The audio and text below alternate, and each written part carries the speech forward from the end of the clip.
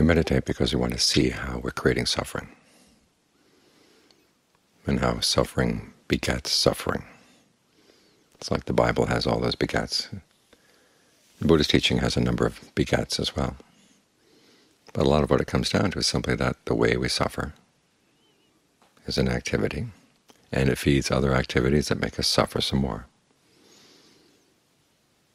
The Buddha defines suffering as the clinging aggregates. And it's because we cling to them, when the aggregates themselves don't cling, we cling to them, that we suffer. And then in clinging we create more aggregates.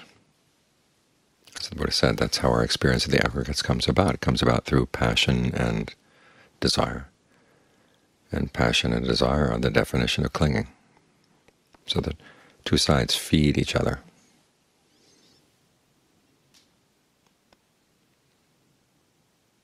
In a process like that, you've got to figure out where can you gain an entry to understand it so that you can put an end to it.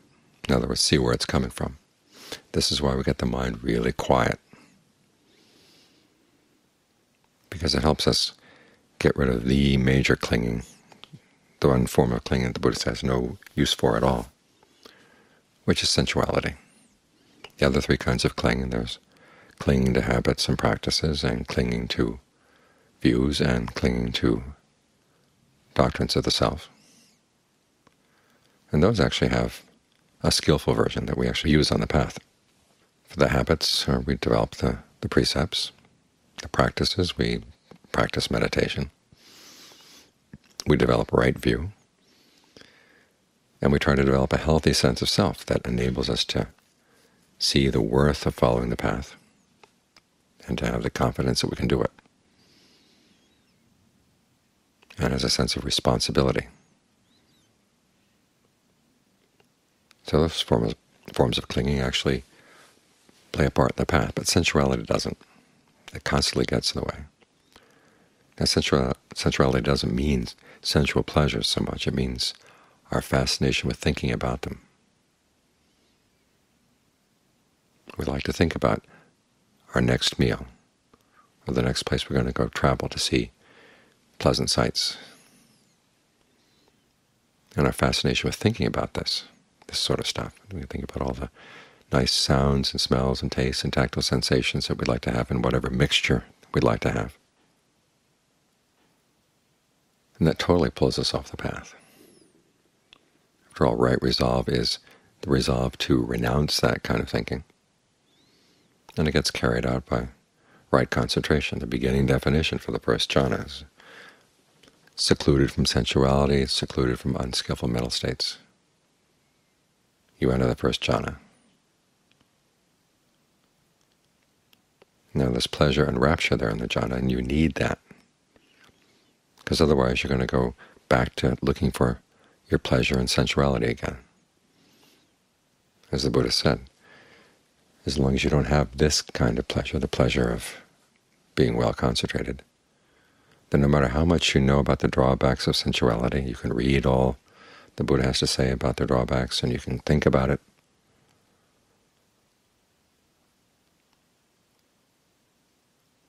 But if you don't have this alternative pleasure, you're still going to go back to it. And if you don't go through the front door, well, you do in the backyard. In other words, you deny to yourself that you're doing it, or you do it in sneaky ways. And that just compounds the problem. So we try to find a pleasure here that is totally independent of sensuality. One of the perverse things about the way the Dharma is often taught here in the States is that sometimes they'll mention the jhanas and immediately say, watch out, they're dangerous. As if they're so beguiling that they're, you're just going to get sucked in and never come out.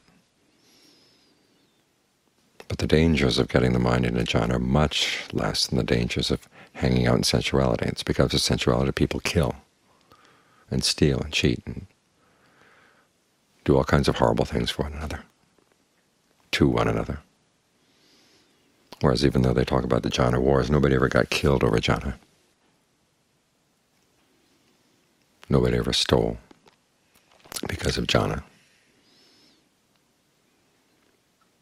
In fact, the Buddha said the main danger of getting the mind in concentration is that you don't want to leave, but it's relatively minor compared to the dangers that come from hanging out in sensuality and being enamored and clinging to sensuality the way we ordinarily do.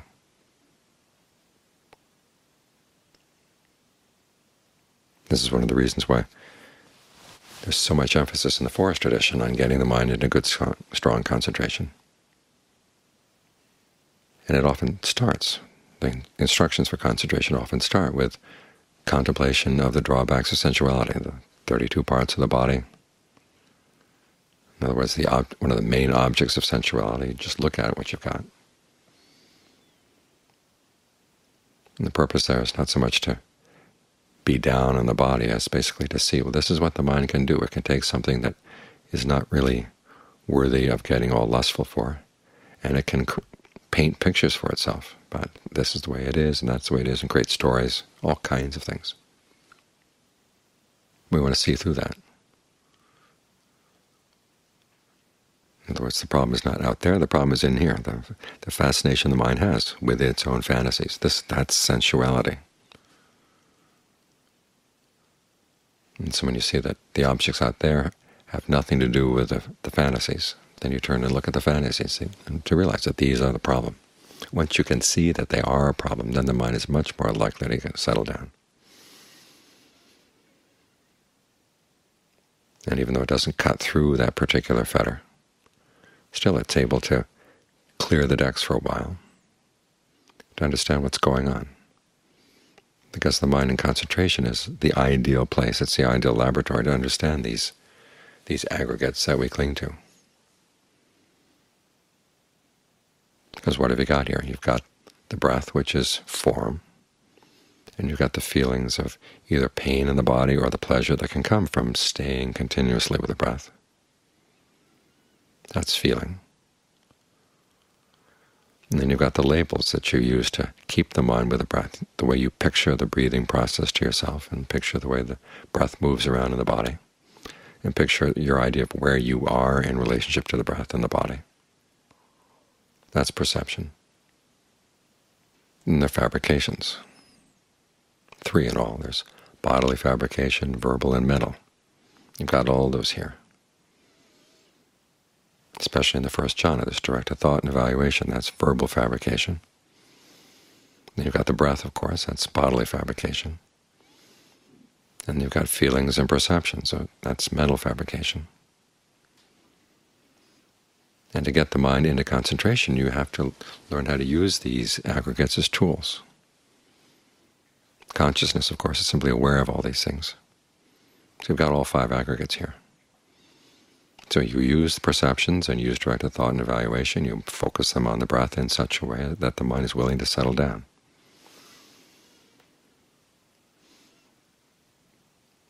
And so it's by getting the mind into concentration that you see, oh, these are what the Buddha is talking about when he talks about aggregates. They're activities. The term aggregate is unfortunate in the sense that it sounds like pieces of gravel.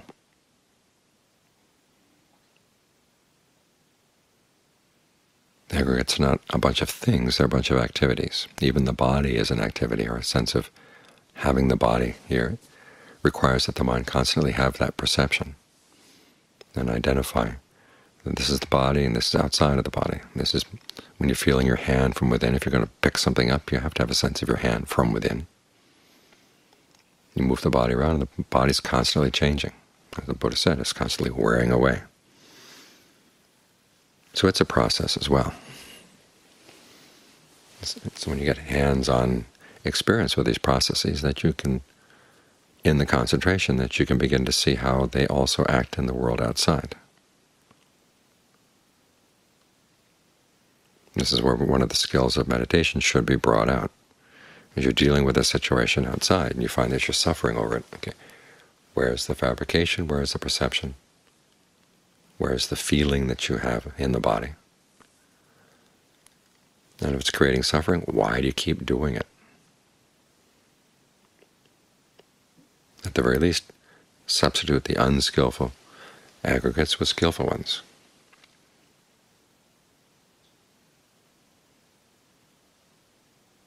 saying you're perceiving yourself as a victim, okay? That creates a lot of suffering in some ways, and it's all too tempting to pass that suffering on to other people. How about changing the perception?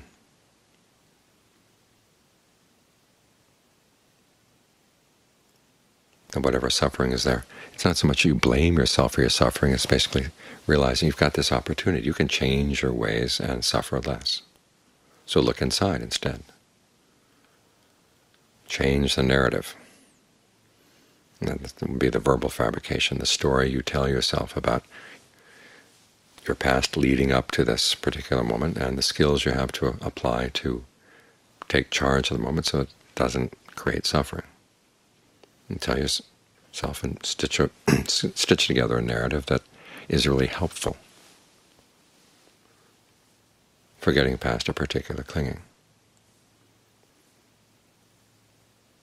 So it's in this way that getting the mind into concentration on the one hand helps pull you out of your sensual thoughts so you can think straight and look clearly at what's going on.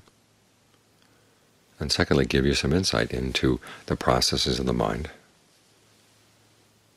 and how you can take these aggregates and turn them into a sense of pleasure that fills the body, or you can take the aggregates and make yourself miserable.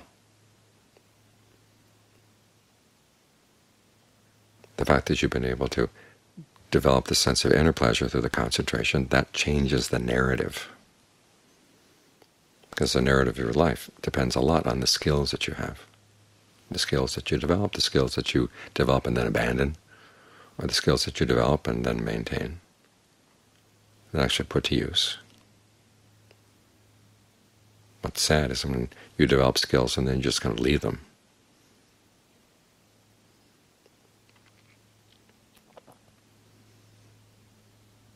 You've got these skills and you can apply them.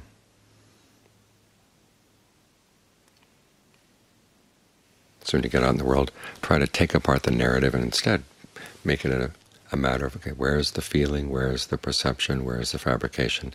In what way am I clinging to these things in unskillful ways? In what way could I cling to them at least in a skillful way? If I can't totally let go of the clinging, give myself better ones to hold on to and hold on to them in better ways. Develop skillful habits and practices, and develop skillful views, and develop a skillful sense of yourself.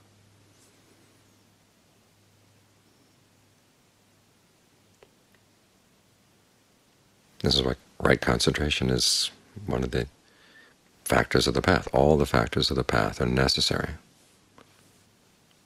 But it's the biggest one. You look at the description in the, in the sutta that analyzes the factors of the path, and the passage on right concentration is the longest and most complicated,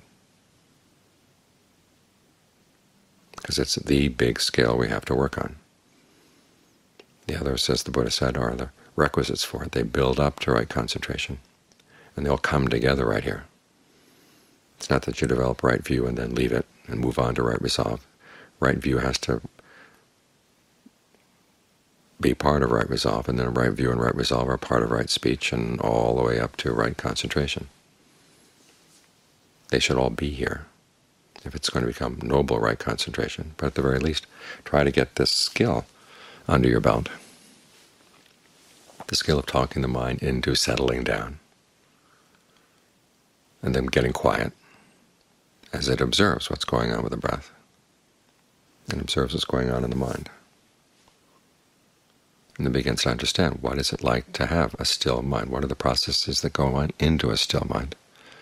Well, these same aggregates. But instead of being a load on your shoulders, they're part of the path. You've taken those bricks off your shoulders that you've been carrying around, and you put them on the ground, and you make a path. And then you go home, and then you put them back on your shoulders again. And then you begin to ask yourself why. Why do I have to do that? Why don't I just leave them there on the, on the ground, continue making a path? So you observe your mind all the time.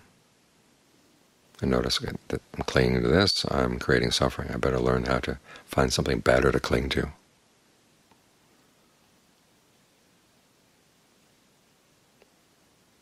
And to someday, hopefully, you get to the point where you don't have to cling. But in the meantime, choose your clinging well.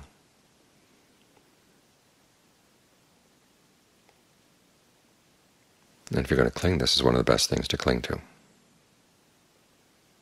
the mind in right concentration.